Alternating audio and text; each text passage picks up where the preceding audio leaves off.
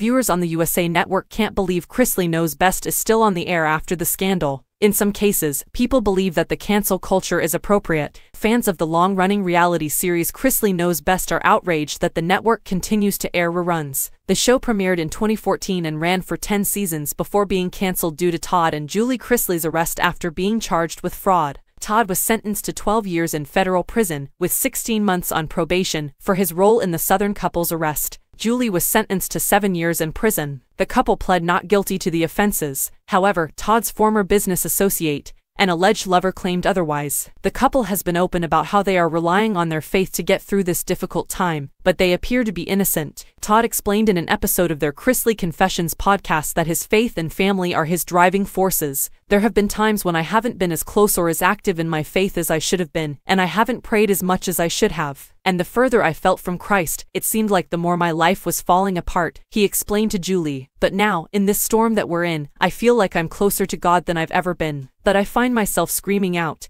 because the Bible says to scream out to God, to cry out to God. And, you know, you've heard me do that with what we're going through right now. God, please, I'm crying out to you, you've heard me say. I'm at a loss for what to do. I'm requesting that the truth be revealed. I'm asking you to shine a light where there is none. I'm requesting that our adversaries be revealed. Regardless, fans want the show to be cancelled entirely. They've vented their annoyances on social media. In such high-profile cases, cancellations are common. Consider what happened to Josh Duggar's show, 19 Kids and Counting, as a result of his scandal. Few people can watch themselves on television while incarcerated. Todd and Julie Chrisley, on the other hand, can. The Chrisleys may be serving time for their crimes, however, they appear to be reaping the financial benefits of syndication. 10 seasons equals a lot of episodes, even on streaming platforms. However, according to Twitter, USA Network is unconcerned about the Chrisleys' convictions.